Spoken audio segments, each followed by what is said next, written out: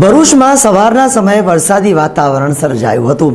સતત પંદર મિનિટ સુધી વરસેલા વરસાદી ઝાપટાને કારણે વાતાવરણમાં ઠંડક પ્રસરી ગઈ હતી. આજરોજ સવારના દસ વાગ્યાની આસપાસ ભરૂચ જિલ્લાના કેટલાક ભાગોમાં વરસાદી માહોલ સર્જાયો હતો.